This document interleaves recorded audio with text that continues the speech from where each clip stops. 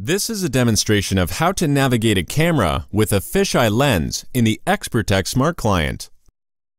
Fisheye cameras provide a 360 degree panoramic image, and hence they have the possibility to cover a larger area than a standard IP camera.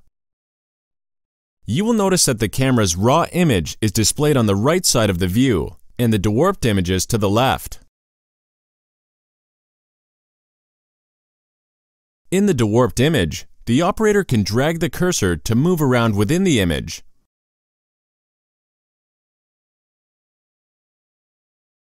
and zoom in and out using the mouse's scroll wheel.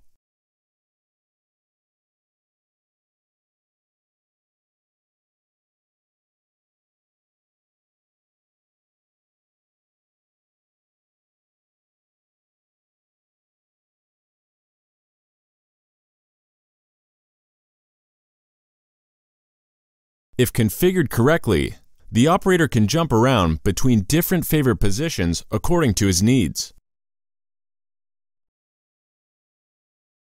In this example, a quad view is showing four different positions covered with just one camera.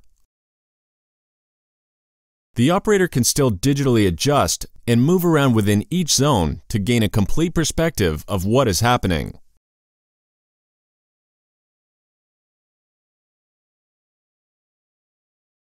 Another great example of a fisheye camera's coverage is this full 360 degree panoramic view.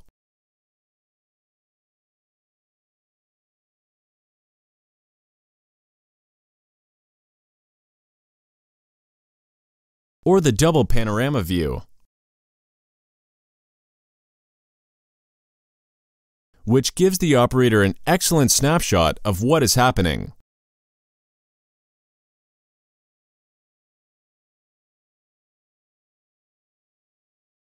That's it. Thank you for watching.